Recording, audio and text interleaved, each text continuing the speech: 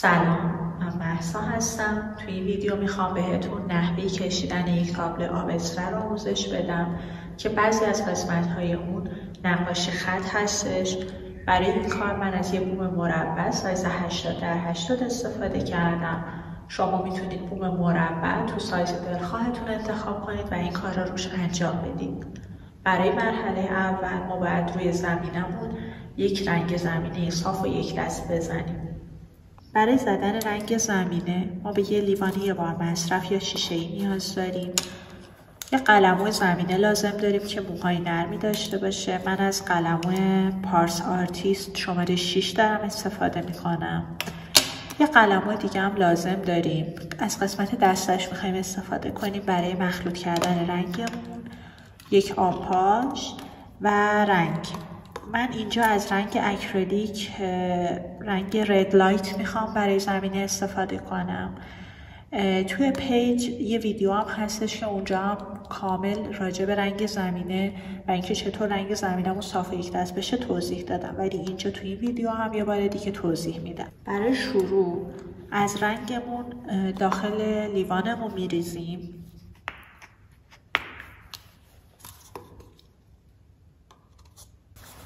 میزان رنگی که داخل لیوان میریزید سلیقه چون اینجا رنگمون تک رنگ هست و ما نمی‌خوایم یه ترکیب رنگ درست کنیم که بعد دوباره مجبور بشیم حالا رنگ درست کنیم و ممکن باشه که رنگمون فرق کنه. من این مقدار رنگ رو خیلی لیوان ریختم. حالا شروع می‌کنیم با آب پاش به این رنگمون کم کم آب می‌زنیم و با دسته این قلم رو هم می‌زنیم. آب رو یک رو به رنگمون اضافه نمی کنیم چون رنگ گلوله گلوله میشه. میزان غلظت رنگمون باید به حدی برسه که نه خیلی سفت باشه نه مثل جوهر رقیق باشه.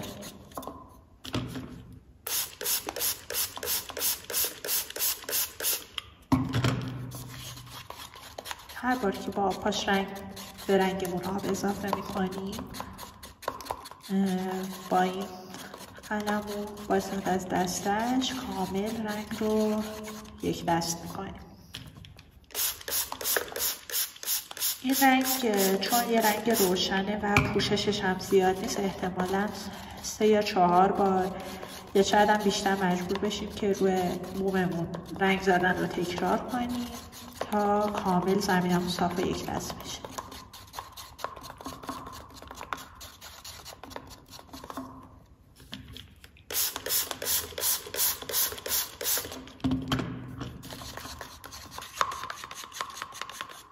غلظت رنگ. الان خوبه نه خیلی سفته نه خیلی دقیق. ببینید.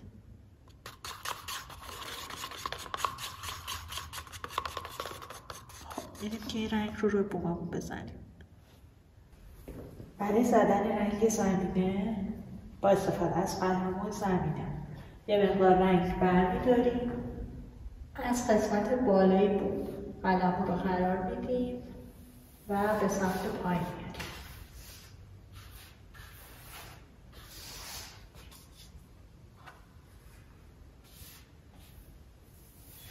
اگر دوباره از رشت هایی بود دوباره قلم گذاشتید و خط افتاد مثلا اینطور.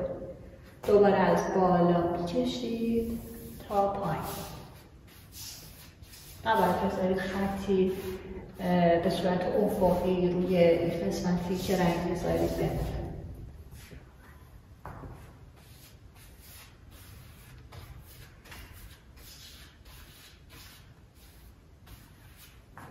تا جایی که می‌تونید صاف می‌کنه جنگتون رو و میرید مرحله بعد رو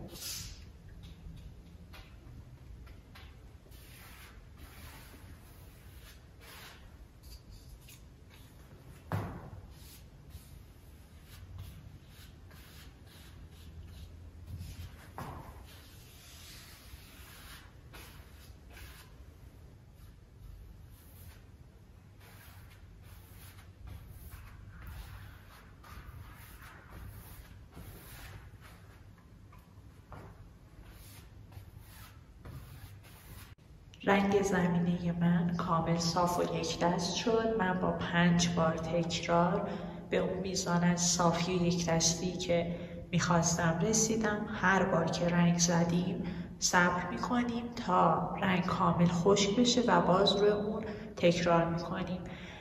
و این مرحله رو انقدر ادامه میدیم تا سطح روی بوم کامل صاف و یک دست بشه.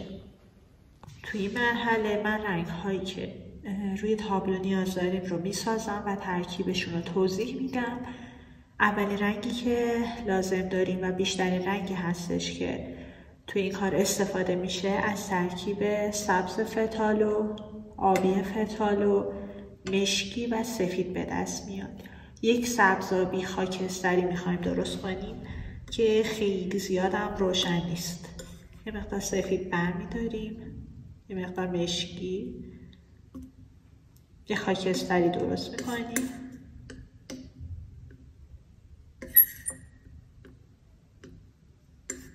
خاکستریمون نمی‌خوایم خیلی زیاد تیره باشه. حالا از آبی فتالو.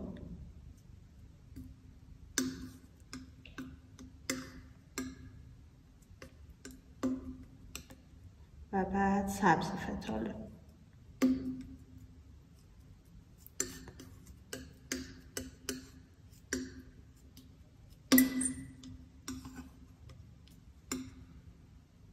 هیچ مقدار دیگه سبز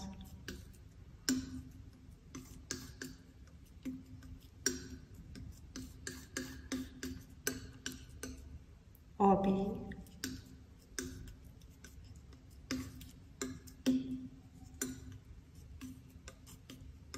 خب چون رنگم احساس کنم خیلی روشنه یه مقدار دیگه مشکی بهش اضافه می‌کنم.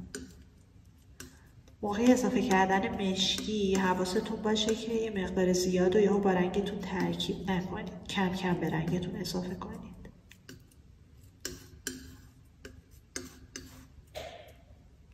رنگی که می‌خوایم این رنگ هست. حالا می‌تونه آبیش یکم بیشتر باشه. این رنگ.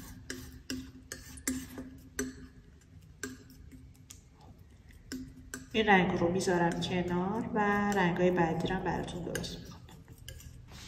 دومین رنگی که لازم داریم شبیه رنگ اول هست ولی خیلی روشنتر یعنی که توش مشکی نمیاریم. سفید آبی فتالو و سبز فتالو.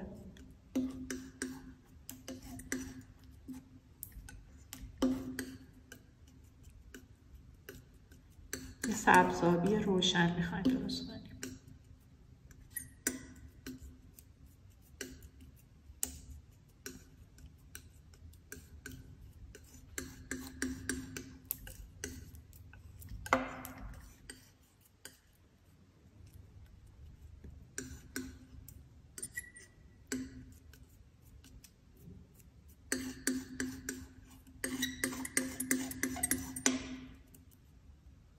حتما یادتون باشه وقتی رنگاتون رو می‌خواید کنار بذارید و کار کنید یعنی یه تایمی می‌خواید با اون رنگ کار کنید یه مقدار آب روی رنگتون اسپری کنید تا خشک نشه.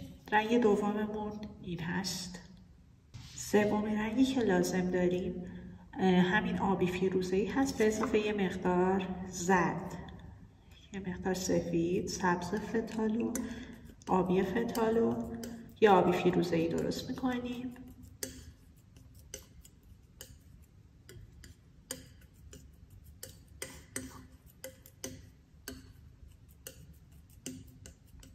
خب یک مقدار زرد بهش اضافه می‌کنیم.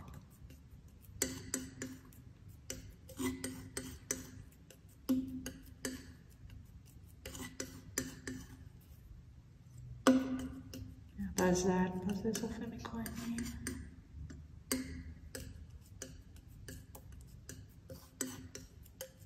من اینجا یه مقدار باز سفید به رنگم اضافه می‌کنم چون نمی‌خوام خیلی گرمای زرد توی رنگم مشخص باشه. مقدار دیگه سفید. این رنگ رو لازم داریم. فقط رنگاتون رو کامل مخلوط کنید که توش لگه معلوم نباشه.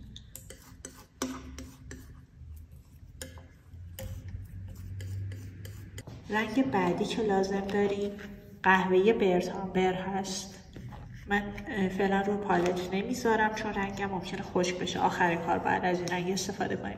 قهوه تیره قهوه برتامبر هست حالا روی تابلو باز موقع کار کردن توضیح میدم. یه تیکه هایی مشکی و سفید هم روی کار می‌ذاریم. رنگ هایی که باید ترکیبشون گفته می‌شد رو اینجا براتون توضیح دادم. حالا بریم روی بوم کار رو انجام بدیم. با استفاده از کاردک روی این کار رنگ می‌ذاریم این مدل کاردکی است که من استفاده می‌کنم برای این کار. سایزش هم متوسطه. بسته به اندازه بومتون. می‌تونه سایز کاردکتون بزرگتر یا کوچیکتر باشه. با کاردک از روی رنگ و رو شروع می‌کنیم. از این قسمت که تقریبا وسط بوم هست شروع کنیم به رنگ گذاشتن با کاردک از همون رنگ سبزابی خاکستری که اول از همه درست کردم استفاده کنیم.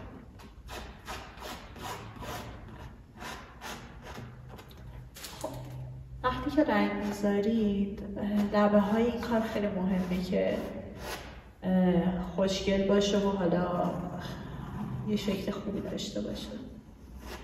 به لبه های کارتون دقت کنید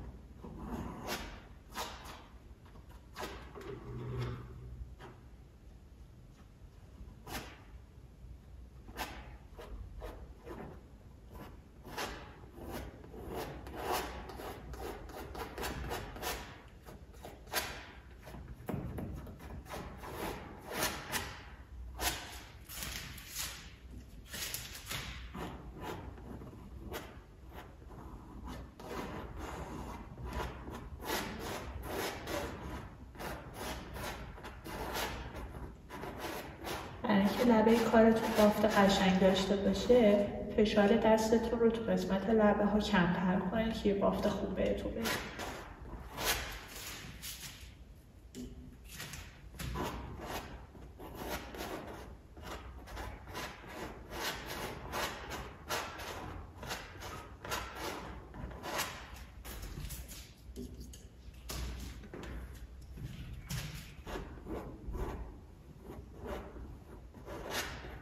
اگر بعضی از قسمت ها مثل این قسمت از زیر کار معلوم شد و حالا دیدید که خوبه و بافت خوشگلی شده نگهش دارید لازم نیست که همه رو بپوشونید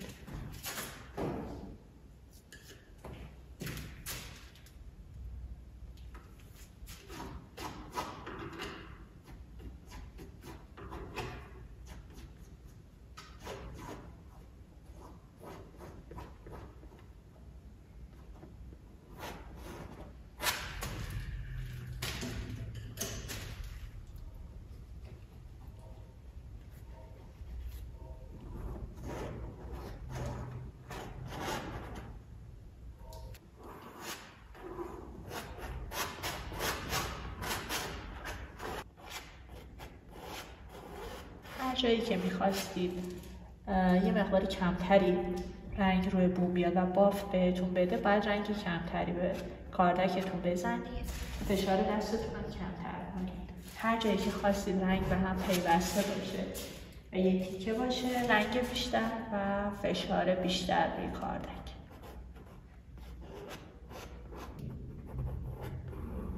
لبه های کار خیلی مهمه. پس اگه لازم بود روش کار کنید و خوب مرتب و خوشگلش کنید. منظور از مرتب بودن نه که یک دست باشه منظور اینه که یه بافت خوبی داشته باشه. و همینطوری ولش نکنید.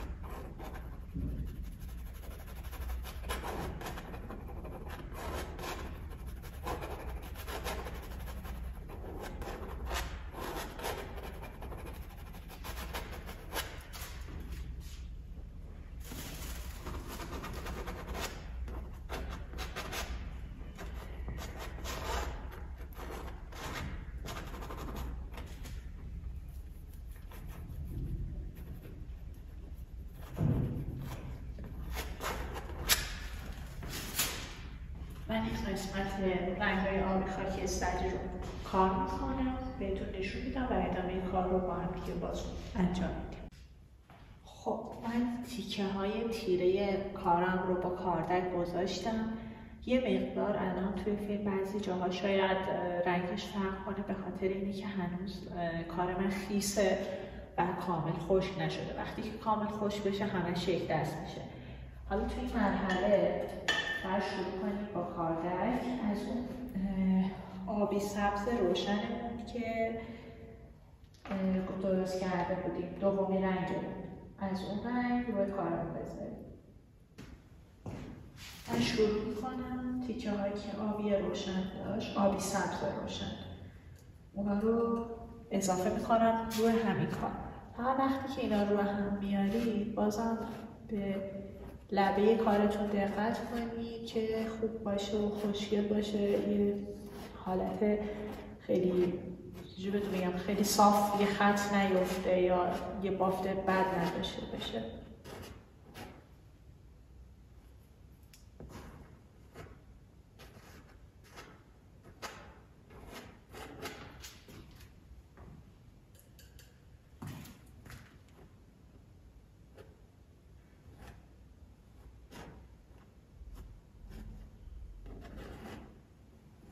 جاهایی که می‌خواید بافتش حالت پراکنده تر باشه و رنگی کمتری داشته باشه به کاردکتون رنگی کمتر بزنید.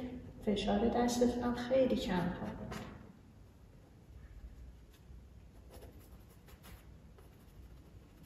الان این قسمت که من دارم کار می‌کنم با رنگ خیلی کم می‌خوام یه سری بافتای خیلی پراکنده و کم رنگ. دور کارم بندازم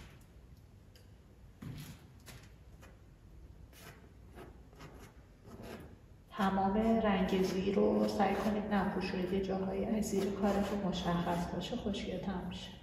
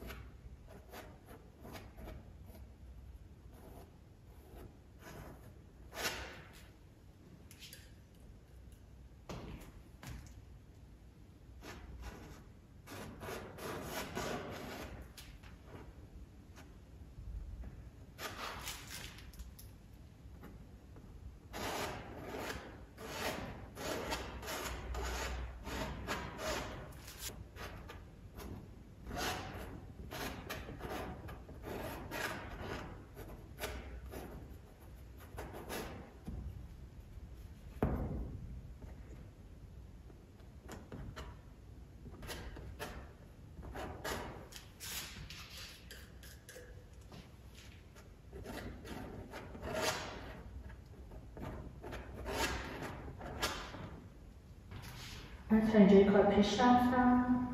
آبی ها رو تموم کنم آبی روشن رو. و بعد بریم سراغ رنگ برگ.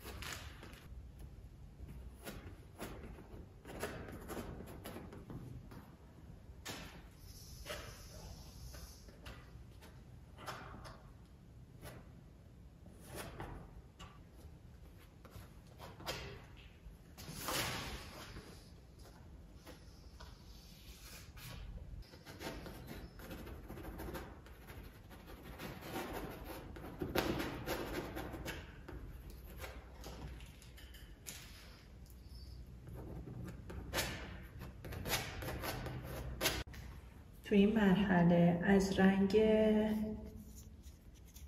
تو این مرحله از رنگ قهوه‌ای برنت آمبر.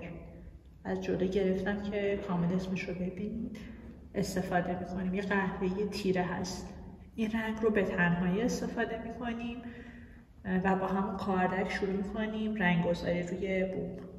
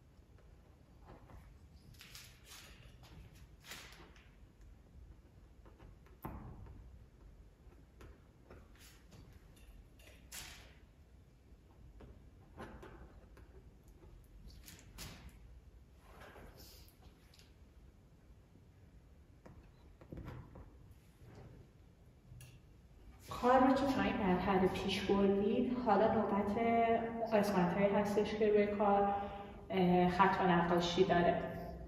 برای این کار من می‌خوام که این قسمت هایی که حالت نوشته داره رو کپی کنم روی بومم و اونا رو نقاشی کنم. چون من خودم تخصصی تو زمینه کالیگرافی یا حالا خط و نقاشی ندارم.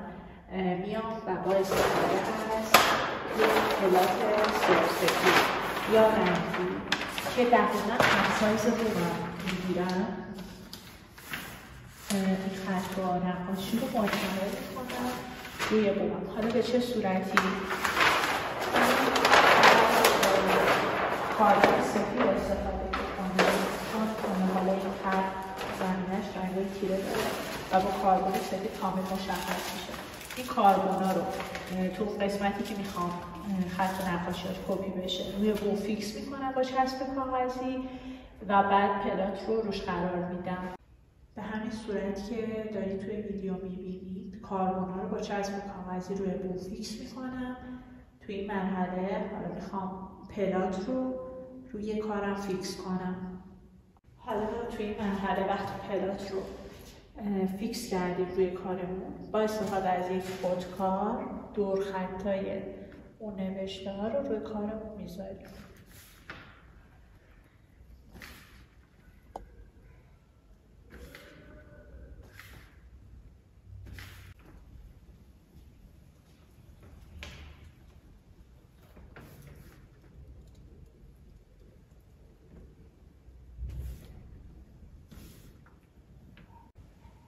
نوشته ها با استفاده از کاربن سفید روی بوم منتقل شد توی این مرحله با استفاده از قلم که می‌تونه تو این سایز ها باشه. حالا بسته به سایز بومتون اگر بزرگتره با قلم های بزرگتر اگه کوچیکتره با قلم های کوچیکتر.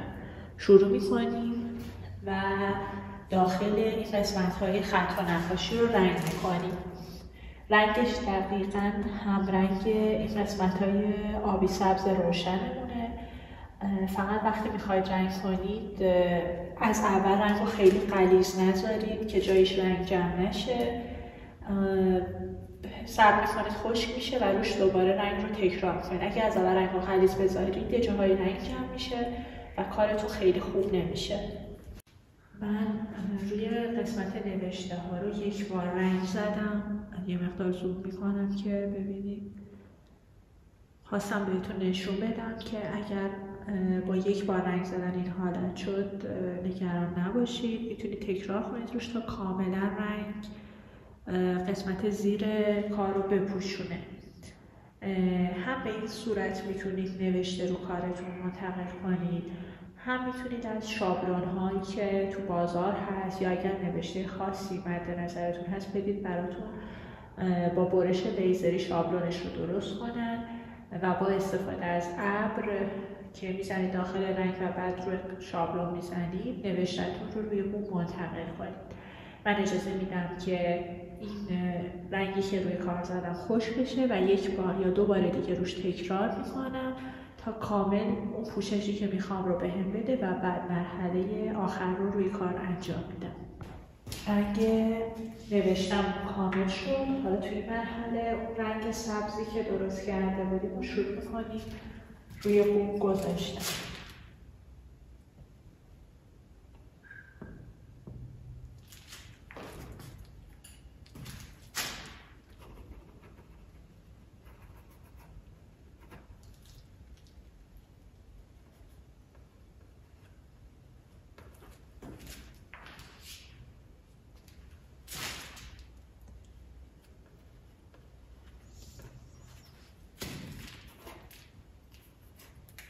توی این مرحله هم این رنگ سبز رو می‌ذاریم و هم اگر جای احتیاج بود رنگ قهوه‌ای و یه مقدار بعضی جاها رنگ مشکی.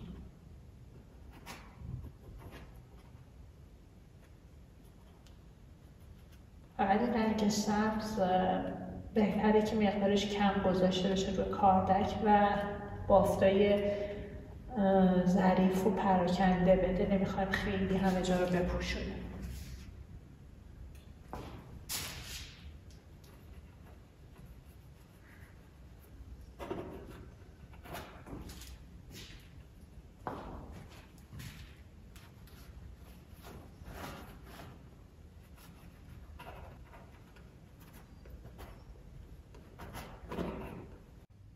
این کار توی این مرحله تموم شد علاوه بر رنگ سبز یه سری تاچ با رنگ مشکی و سفید هم روی کار گذاشته شد. من بافت کار رو از جلو بهتون نشون میدم تا کاملا متوجه بشید که به چه صورتی هست.